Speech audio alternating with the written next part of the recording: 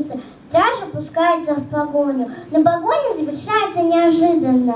Всех преследователей догоняет народ городка. Все отрицательные персонажи окружены и наказаны. В городке празднуют победу!